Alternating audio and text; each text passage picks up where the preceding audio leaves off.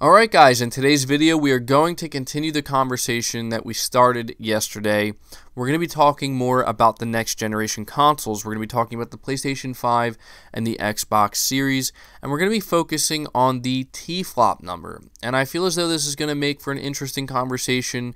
Obviously, it's pretty much just going to be purely speculative on my part, but I want to talk about this because I noticed that it's something that people as of right now they want to know. They want to know how powerful the PS5 is going to be. They want to know the specifications. And as of right now, they really want to know the T-flop number. T- the T-flop number doesn't um, mean everything when it comes to these next-gen consoles, but it's going to play a pretty significant role in determining what we can expect from these consoles, not only performance-wise or uh, you know power-wise in general, but also price-wise. And so, the big news yesterday was that Microsoft revealed that the Xbox Series will be 12 teraflops of compute power measured in RDNA 2 architecture, which is very significant. It's actually so significant that RDNA 2 architecture is currently not available on the market. That's how cutting edge this console is going to be. And people were very impressed with this. Uh, they were very impressed. And because of this, because of how uh, confident Microsoft is coming off now, they're really wondering where does this leave the PS5 and what is Sony going to do? And more specifically, when are they going to start talking about the PS5? Because people feel if there's ever a moment where Sony should say something, it's right now to counter what Microsoft is revealing. But before going any further in this conversation, if you could do me a favor, hit the like button if you think you're going to enjoy the video or if you do enjoy the content in general. It really helps it out more than you know. And be sure to hit the subscribe button as well so you don't miss any future content. But getting back to the conversation here, the big question that people are now asking, I mean, they have been asking this for quite some time, but now more than ever, they want to know what's the T-flop count on the PS5? Because I'm sure as most of you know, those of you who've been following the channel for a little while now, we've been going over a bunch of different leaks and rumors that have been kind of persisting for months and months and months now. And what's really interesting and why I'm continuing to talk about it even now is that we have one piece of the puzzle essentially confirmed. Granted, Microsoft didn't reveal every single detail about the specs of the Xbox Series yesterday, but that 12 T-flop number in RDNA 2 uh, architecture is probably the most significant. And so, you know, you have to look at some of these past leaks, right, that have come from sources where we have to question their credibility. Are they lying? Is it true? And there are a few individuals who did correctly uh, point out that, yeah, the Xbox Series is going to be 12 T-flops, and it will be in RDNA 2 uh, architecture.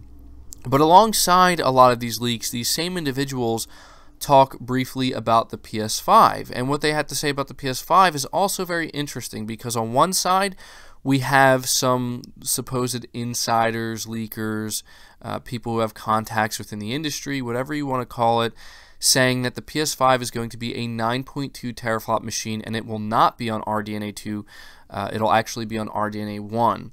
And there's no doubt that if that were to be true, that is a, I'd say, a pretty significant gap between the two consoles. The price may end up reflecting that ultimately, though. But the big question that I frankly can't answer for myself because I simply don't know. I'm not, you know, I'm not tech enough I don't have enough knowledge on the technical side of things to be able to answer the question, what would the real difference be? What would we see? And I believe I asked this question to my subscribers before, and many of you had uh, answered this in the comments. But even then, I've seen kind of torn opinions. I've seen some people say that you will certainly see a, a big difference. I've also seen other people say that you're really not going to see that big of a difference, at least not as big of a difference as you would assume.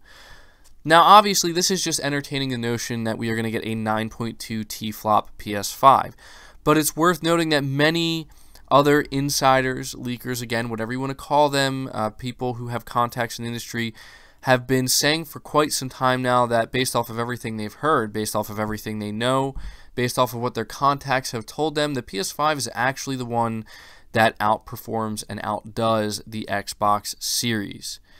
Now, this is just where you know, you have to look at Sony and the way they're behaving right now. Uh, you have to ask, why are they being so quiet? Why are they being so silent? Well, it's for one of two reasons, and only one of two reasons.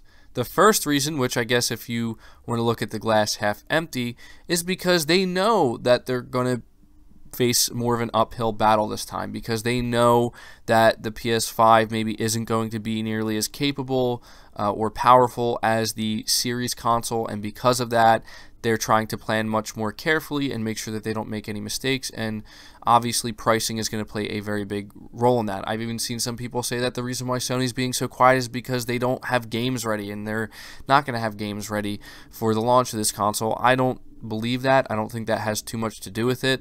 But the other reason they could be so quiet, and this is, I guess you could say, looking at the glass half full, is because they know what they have. And because they know what they have, they are absolutely not worried at all.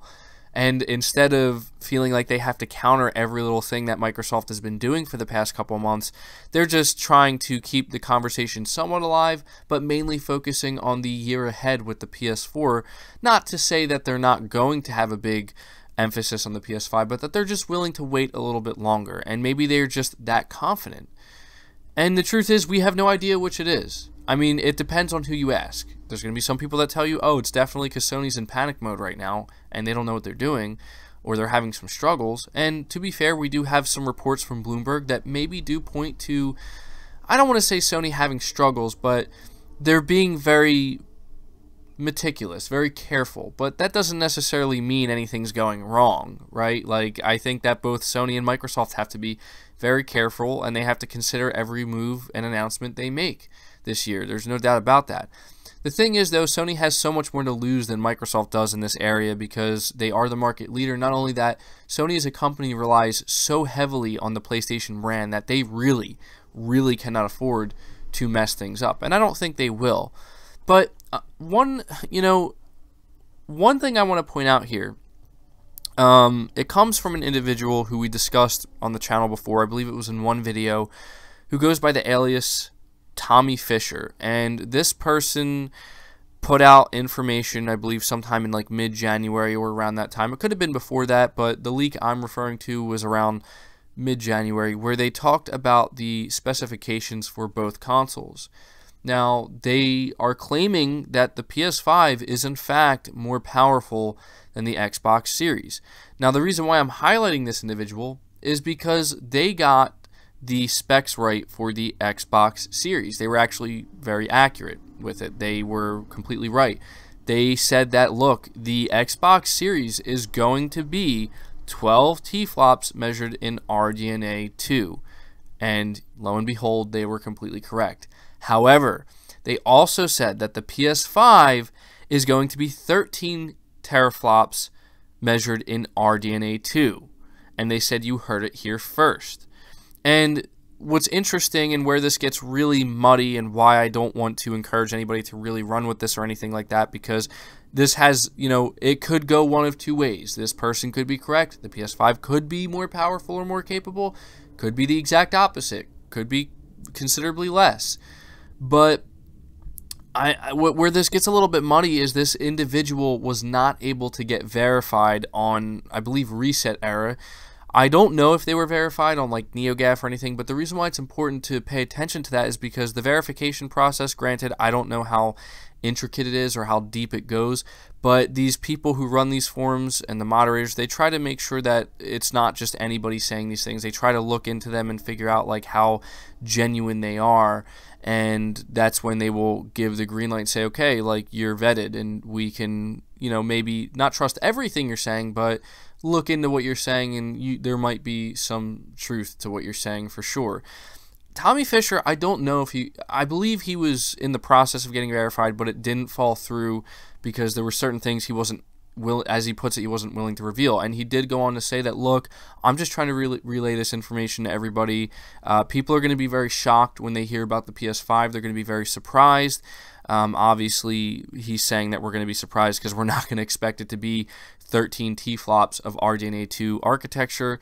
Um, and he's just saying, look, you heard it here first. Now, again, he was correct about the Xbox Series now, Tommy Fisher is not the only individual I want to highlight here because in the past, probably the most credible individual we can bring up here when we talk about the next gen consoles is uh, Jason Schreier because he is someone who he he when he says things, I, I don't want to say he's correct 100% of the time because I haven't followed him that closely, but he's earned a reputation where when he says something, you, you really might want to pay attention to it because he, he has very good sources and he usually doesn't say something unless he's very sure about it. And the last thing we heard from him, granted it was a while ago, he said that the last he heard is that the PS5 was in fact outperforming the Xbox Series and that they were kind of ahead. But obviously, you know, that was some time ago and we don't know how much has changed since then. And so I'm just bringing all of this up because we also have the other leak from, I believe it comes from Komachi or somebody on Twitter who is definitely accurate when it comes to the things they leak out because they're just leaking out things that they find from AMD. And this is where that 9.2 teraflop uh, leak came from. It also leaked a little bit about the Xbox Series, which I believe that also turned out to be correct. So it creates this really, really interesting conversation. And this is just why I'm talking about it in general is because it's so interesting to see what's unfolding where we have two different things going on. On one side, you have individuals who are claiming that the PS5 is going to be significantly less powerful than the Xbox Series. Not to say it won't be powerful, because it will be, and it will still be a next generation leap. It's just not going to be as big of a leap as what we're going to see with the series. And then on the other side, you have people claiming that no, it's actually going to be a, a, very, very powerful console and it's actually going to outperform the series. So we're still left kind of in the dark here if you're somebody who is really interested in knowing what the PlayStation 5 is going to offer. And the thing is, like, I. I really don't know which side to fall on. I really don't. Because these like everybody could end up being wrong. People who are saying, you know, that this console is going to be more powerful and the PS5 is going to be more capable, they could be completely wrong. And it's I, I as much as I want to buy into that and I want to believe it because that sounds awesome to me, right? I don't know if that's the truth. Just like I don't know if I can buy into the idea of Sony going with a 9.2 T-flop machine. I mean, both sound plausible. Don't get me wrong. I won't be shocked either way. I mean, I could see Sony going with 9.2 T flops and hitting a $400 price point. Um, but at the same time, I could see them, you know, going with a much more powerful, like 12, 13 T flop machine and matching Microsoft. I could see both happening. They're both plausible, but it's just at this point we see so clearly what Microsoft is doing, and Sony's just so much in the shadows and it's just creating this these thoughts like why is it why are they in the shadows? Why are they still being so quiet? What's the reasoning? Either way i think things are going to go down really well. I'm, I'm excited for next generation regardless and i think everybody else is too. I think some people are certainly getting a little bit uh, impatient and i will admit that i'm starting to like I don't feel like I'm getting impatient. It's just that my interest in knowing more about the PS5 has not it's never been higher up until this point because hearing what Microsoft is doing, now I just really want to know what Sony's going to be doing because it's just it's so interesting, right, to see how this is all going to unfold. But that's going to do it for the video, guys. Um, I apologize if it came off a little bit redundant, but I really just wanted to talk about this a little bit more and focus more on the T-flop numbers and kind of just remind you guys about some of the leaks and the rumors we've heard up until this point because there are some individuals who have gotten the leaks correct about the Xbox Series, and some of these same individuals were also leaking info about the PS5. And so we're gonna have to see which one they end up, uh, which which individuals are gonna end up being correct in the end. But that does it. Let me know your thoughts about this down in the comments below. Leave the video a like if you enjoyed it. Subscribe to the channel if you're new and haven't already. Hit the bell notification icon so you never miss an upload. And feel free to share this video out on top of all that. But until next time, guys, take care.